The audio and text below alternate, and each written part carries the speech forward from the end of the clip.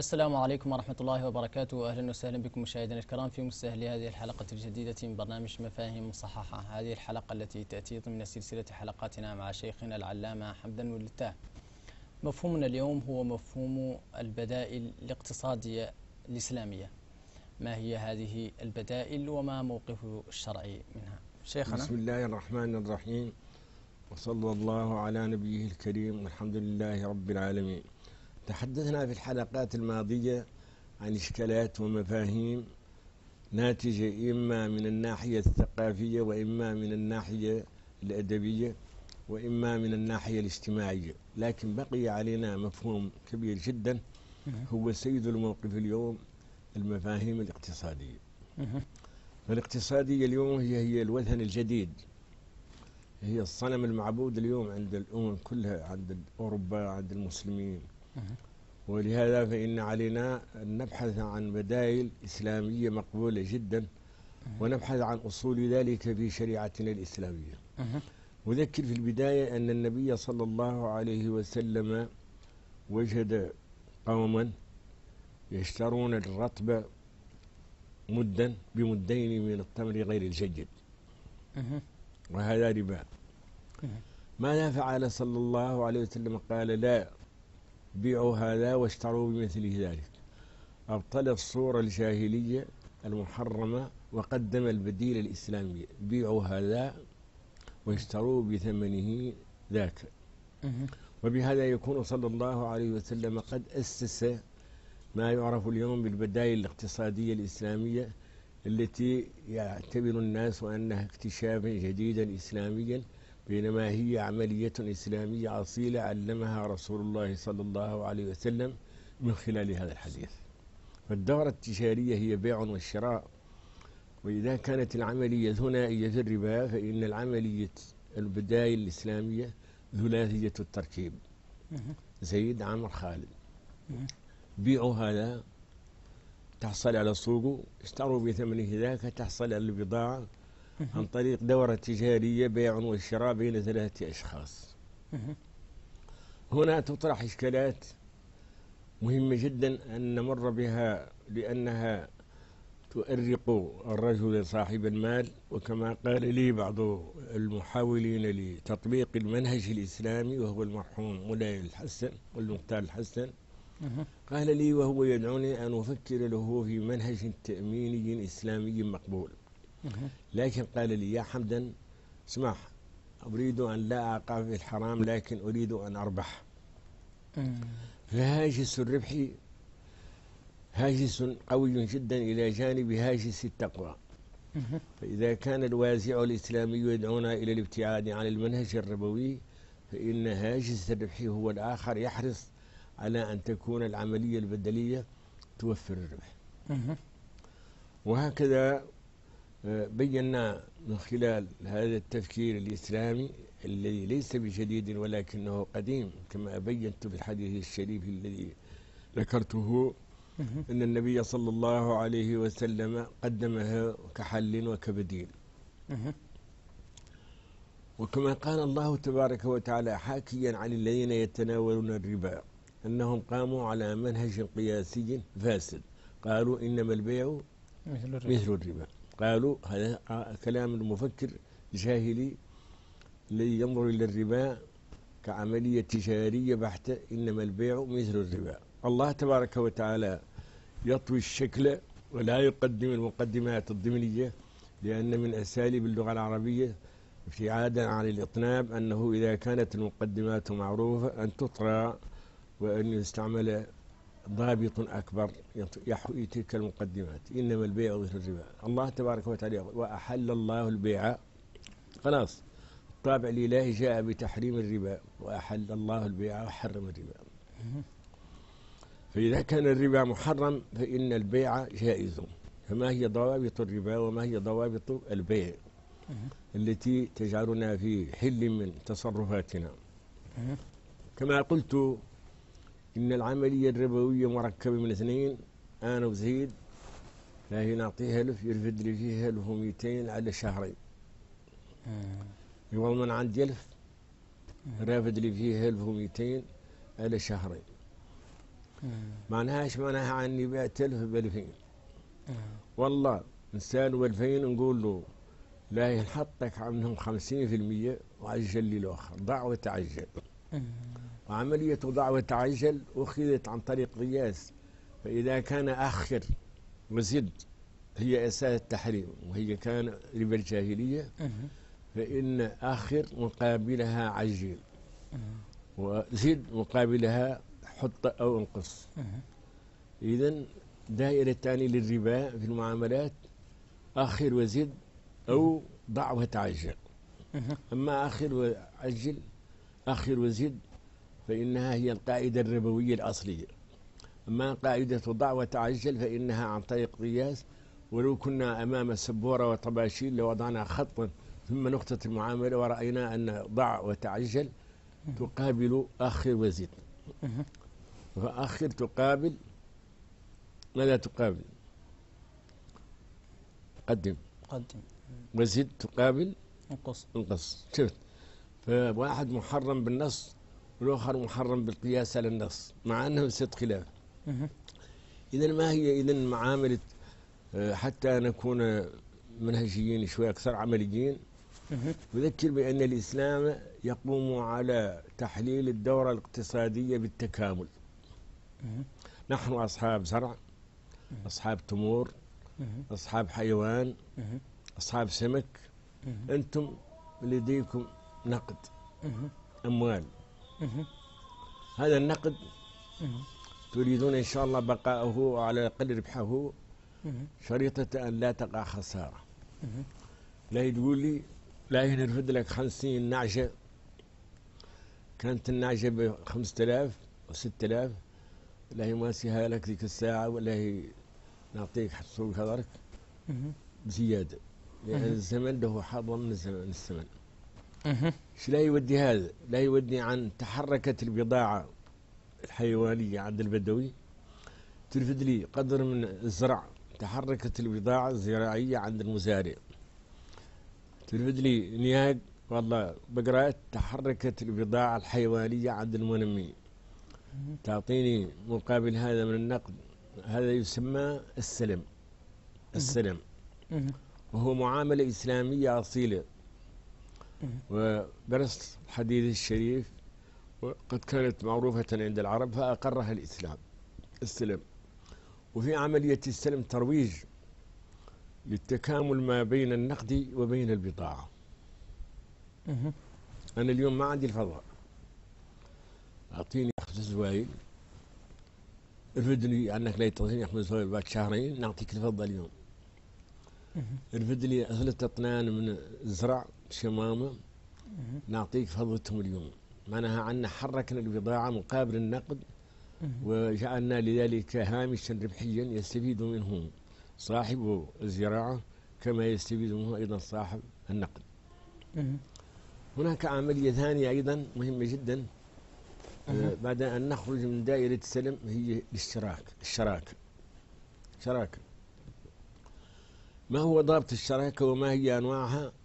أنا وأنت أنت عندك مال غير ما عندك قدرة على العمل أنا عندي قدرة على العمل وأنت عندك قدرة مالية. لا ينعدل الشراكة بين القدرة الجسمية العملية الذكائية مع القدرة المالية لا تعطيني مليونين ثلاثة ملايين نعمل فيهم على أن الربح بعد الشهرين يكون بيننا. فهي شراكة بين العمل ورأس المال. وقد تكون شراكة متكاملة بين المال والمال. وقد تكون شراكة بين العمل والعمل. أنا نستاج وهذا غزال. قد تكون شراكة على خدمة معجلة لا تحصل المنفعة إلا بتمامها ويسمى الجعل. لو بديل هذه الزايلة الغادية أجزاء مشيك أنت في الخلوة الوادك بلا قيمة ما لم توجد الضالة لكن إذا جبرت تحصل المنفعة. ولهذا فإن الجعل شبه إجارة لكنه يتميز بأن أجزاءه أو عمليات صاحبه إذا لم توفر المطلوب لا يستفيد منها الطرف الآخر. فالجعل شيء والآخر بديل إسلامي. آه القرض. حسنا أنتم تردوا للفضة اختيروا تجبروا اليوم شيء من الفضة خاصكم. ولا ما عندكم. ولا عندكم حالة باش تبيعوا بضايعكم اليوم لأنها ما هي رائجة. زين؟ أعطوني بضائعكم نتذمم لكم ببضاعة من بضائعنا المحلية سمك مسامكة. زرع زراعة تمر تمور إلى غير ذلك وبهذا تقع أيضا الدورة المتكاملة ما بين النقد والإسلام يفتح آه، عملية جي- جي- جيدة للغاية هي أنه بدل أن يكون الدين في في في ذات الشخص. يعطيه حاجز بين الذات وبين التحمل تسمى الذمة فالذمة حاجز يمنع المدين من أن يرقى فقد كان المدين إذا لم يقضي يتحول رقيق. وهو حاجز واقي. يمنع ويعطي تكم تحكم فيما ليس عندك اليوم. كذلك فإن من المعاملات الجديدة عمليا مع أنها قديمة في محتواها هو ما يعرف بالمرابحة مع أنها في الأصل لا تسمى مرابحة وإنما هي بيوع العينة. وبيوع العينة تمشي إلى ما ذكره الشمرساحي في حاشية عبد الباقي آه، إلى 120 ألف صورة في جلسة واحدة أملى على طلابه 120 ألف صورة من معاملات العينة. لكن نقتصر فقط على النموذج الأساسي أو القاعدة الأساسية لبيوع العينة مهم. يجاز المطلوب منه سلعة مثلا مثلا أنا ندور عندك سلعة. ندورك تربد لي الشمن البقر والله تربد لي الشمن التمر والله شيء أنا ما هو عندي حالا. لا هي تربد لي لون نرفد لك فيه. أنا إجل لا يعود. هذا العملية اللي هي تمشي لين 12 صورة. جاي اللي ممنوع منها ثلاثة صور أو ما يمنع ما دخل فيه ضابطان. يمنع فيها ما تعجل فيه الأقل. يمنع فيها ما تعجل فيه الأقل. فكلما اجتمع التعجيل والأقل يقع المنع. معناه الأكثر والزايد يساوي مقابل التعجيل والتأخير. هذه الصور ممنوعة. يمنع منها كما قال الشيخ خليل يمنع منها ما تعجل فيه الأقل. هذه المعاملات التي كانت تسمى العينة ما معنى العينة هي طلب العين. ويسميها المصريون التورق أي طلب الورق ويسميها الولوفيون في السنغال بوكي. بوكي ما هي عملية بوكي. هو أن الموظف عندما يكون آخر الشهر يعود ما عنده فضة باش يعيش عياله يشيل من البوتيك يقول له بيع لي من كذا ولا ينرفد لك فيهم صوت كذا. يقبض منك السقايم ويبيعهم زاد هو. لكن البيع لا يعدل فيه حطيطة إذا تعجل ما هو الأقل تكون الصورة ممنوعة إذا تأخر الأكثر تكون ممنوعة بالضرورة. فيبقى صور الجواز وهي ما لم يتعجل فيه الأقل وما لم يتأخر فيه الأكثر. بقية المعاملات إذا جائزة بيوع العينة أصلها أن زيد بن الأرقم كان يأخذ مرتب من بيت المال. ففي مرة من مرة من المرات نفد ما كان عنده. فجاء إلى صاحب بيت المال على أيام عائشة رضي الله عنها فسأله أن يشتري له بضائع مقابل أن يتحمل له بسعر زايد. فاشترى له بضائع ثم أصبحت هذه العملية ينظر إليها مالك والشافعي نظران مختلفين نظرين مختلفين. مالك يحكم المقصد فيقول إنه قد باع على أقل بالأكثر وهكذا يمنع. أما الشافعي فإنه يبقى على النصية يقول هذه الصورة ممنوعة أما ما خرج عن الصورة من ما يعرف بفحوى الخطاب أو لحن الخطاب فإنه جائز وكذلك أيضا أبو حنيفة رضي الله عنه. وفي هذا مندوحة لنا عن الربا.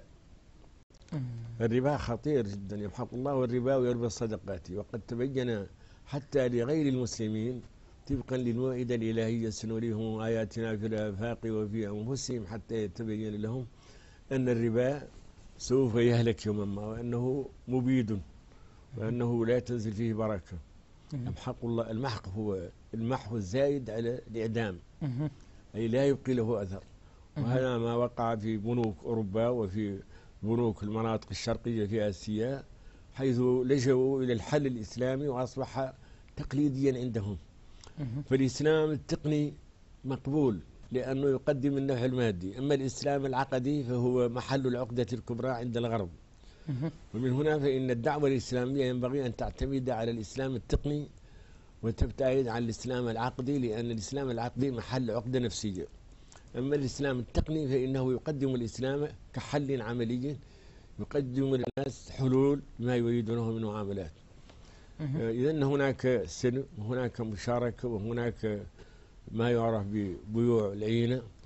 إلى غير ذلك من مختلف المعاملات الموجودة في البيوع المقاصة التي أصلها صاحب منهج مجارة في صفحاته منتشرة إلى 110 صور. لكن الشهر مصاحي وصلها إلى 120 ألف صورة. أرجوكم أن تراجعوا حاشية جنون على مختصر الشيخ خليل. عند كلامه منع للتهمة ما كثر قصده في بيوع التهم. إذا هذه البدائل الإسلامية فيها حل المسلمين أنا مثلا يبقى سؤال. ما هو النقد؟ ما هو النقد؟ هل إن النقد معلل أم إن النقد نصي إذا قلنا إن النقد نصي فمعناه أنه لا نقد إلا في ذات الذهب والفضة.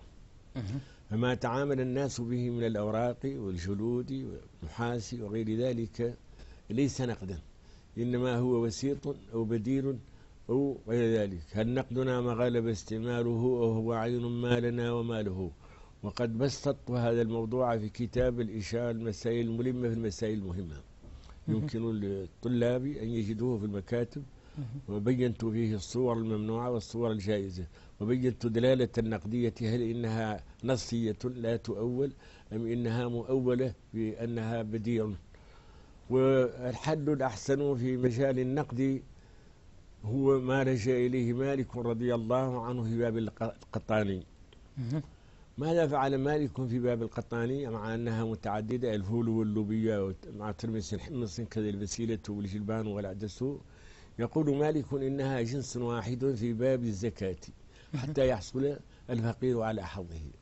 لكنها أجناس مختلفة في باب المعاملات حتى يتسع الناس في معاملاتهم فما هو المانع؟ أن تكون هذه العملات التي هي ليست الذهب ولا الفضة أن تكون جنسا واحدا في باب الزكوات حتى لا نحرم الفقراء حظهم وأن تكون أجناسا. وكما قال صلى الله عليه وسلم اختلفت الأجناس فبيعوا كيف شئتم وتكون كذلك. مالك سئل عن الربح في الفلوس وقال ما أعلم أحدا منعه. هذا نص المدونة.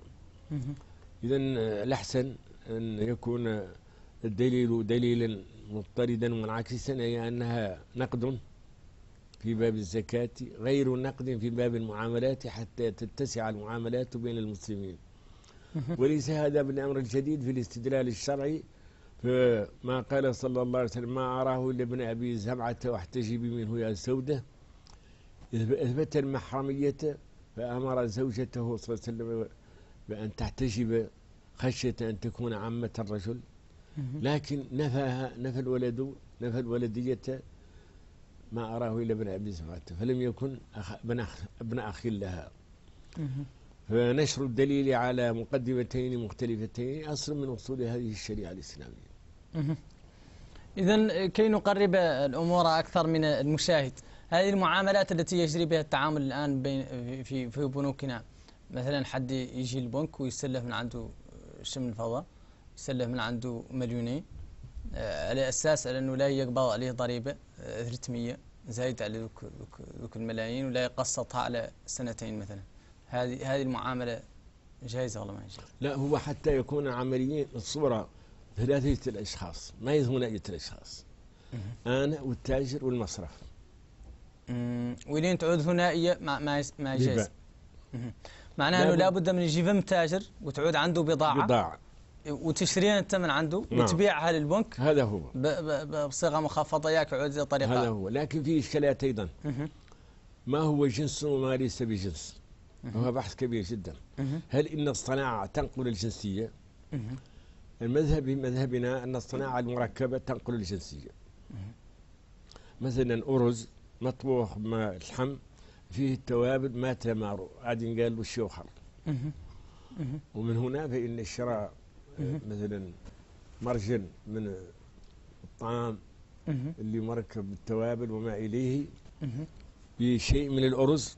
ما هو ربا لكن أعطيك كيلو من الرأي غير أعطاني كرابطة هذا المرجل مهم. هذا ياسر الناس تعدلوا دائما ما ما خسرش به اللي التركيب آه، الصناعة المركبة تنقل الجنسية أما الصناعة المبسطة فإنها لا تنقل الجنسية. هنالك من يتحدث أن أسلمة المؤسسات مثلا بنوك إسلامية هذه تكثر عندنا الآن أنها بدعة وتشويه للدين لأن أصحاب المؤسسات ليسوا معصومين وبالتالي يدعون إلى صفقة إلى أسلمة الصفقات بدل أسلمة المؤسسات ما رأيك؟ اسمح لي أنا قلت عنها ليست حديثة أن النبي صلى الله عليه وسلم وضع البديل في زمنه صلى الله عليه وسلم. بيعوا هذا واشتروا بثمنه ذاك. فأشار إلى العملية التجارية الثلاثية. أنت صاحب الحاجة بيع. مهم. عندك تمر رديء بيعه. لا يحصل عندك شيء من الفضة؟ هذا الفضة اللي حصلت من التمر الرديء اشتري بها التمر الجيد أما أن تبيع التمر بالرديء إلى أجل مع زيادة فهذا هو الربا. مهم. إذا أسلمة إذن هي ما هي- ما المؤسسات هي- ليست بدعة. هي هي قديمة. مهم. هي نص حديث. وأفضل أن أسلمة المؤسسات والله أسلمة الصفقات. اسمح لي نقول لك بصراحة أن الربا مسيطر دولي كما قال صلى الله عليه وسلم أنه أن الناس كلهم سيكون الربا ومن لم يأكله سيصيب يصيبه من غباره. لكن ما هو الأحسن. أن نبحث عن بدائل لها من يقول بها من كبار العلماء. أم, أم, أن نبقى بغير بدائل إسلامية أم أن نتناول الربا صراحة مهم. الامتناع عن التعامل معناه توقف والحياة لا تعرف التوقف لا بد من حركة. معاملة بالربا صريحة حرام. فما هو الحل؟ هو البدائل الإسلامية اعتمادا على ماذا؟ على الشافعي وعلى أبي حنيفة. أرجوكم أن تراجعوا الناس راجعوا الفقهاء أنه يراجعوا. الفروق للقرافي. عند باب ما هو جنس يمنع فيه الربا وما ليس بجنس لا يمنع فيه الربا. إذا في المذهب المالكي هذه ال- ال- البدائل الإسلامية ليست ها- منعها. ليست جائزة. مالك ممنوع عنده. لأن مالك يقول بسد ذرائع. إذا ما- نحن نحن هنا نسير على آه، المذهب الشافعي والمذهب الحنفي حين نتحدث عن البدائل حتى نخرج من الورطة. عند... نقول لك عن لسنا ملزمين بمذهب مالك لأنه قاع من هو المقلد هل نحن مقلدون حقا. المقلد هو من وصل إلى دليل مقلده. ولم يقتنع بمرجعه ثم ذهب إلى آخر. فنحن لم نقلد مالك في هذه حتى الآن لأن البنوك ما كانت عندنا والمعاملات ما كانت عندنا. والنقدية الورقية ما كانت عندنا هذا كامل طاري.